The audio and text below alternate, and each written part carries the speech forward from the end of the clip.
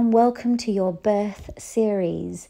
Within the birth series, we are looking at pelvic girdle pain or PGP.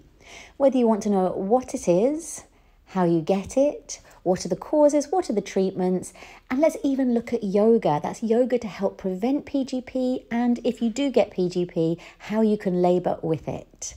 I hope you find this series interesting, you can gain a lot from it. Please do pass on to your mum friends and help spread the word, and together we can empower mums on the pregnancy and birth journey. Like, subscribe, and I look forward to seeing you for the series on PGP. So, what is pelvic girdle pain or PGP? Or you may hear it called symphysis pubic dysfunction or SPD. So, what is it? Well, it's uncomfortable symptoms and pain in the hips, in the thighs, in the joints. So it's caused by stiffness of the pelvic joints or the joints moving unevenly. So it can be either at the back or the front of the pelvis. But how do you get PGP? So if your joints are moving unevenly, this can cause pelvic girdle pain. Or maybe the pelvic girdle is less stable.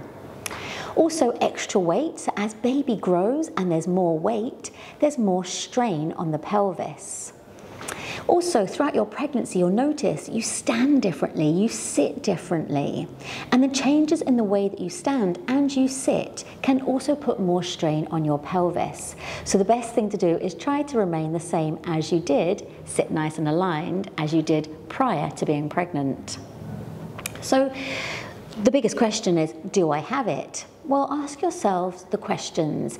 Do I feel any pain in my hips, in my thighs, in my groin? And also, is there a clicking or a almost grinding sensation in the pelvic area? If you do have pain when you're standing on one leg, so if you stand on one leg and there's pain, you're not balanced, that's another way to ask yourself, do I have pelvic girdle pain?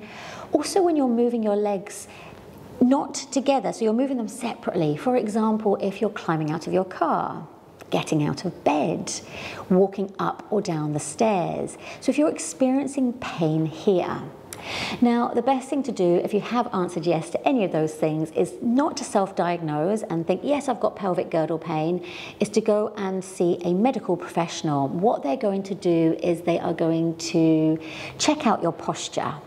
They're going to check your hip and your back and your movement, and they will be able to tell whether you have pelvic girdle pain. And if you do, they will be able to give you advice on what to do.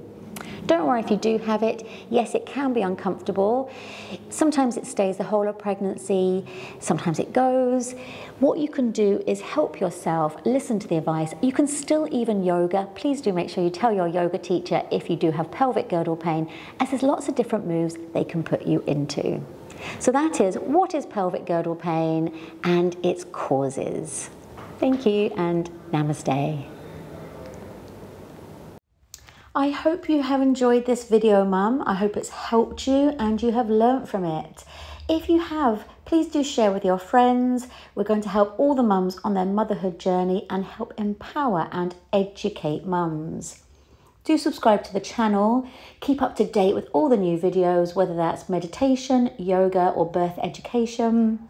Like, subscribe, and share with your friends. And see you on the next video, Mum.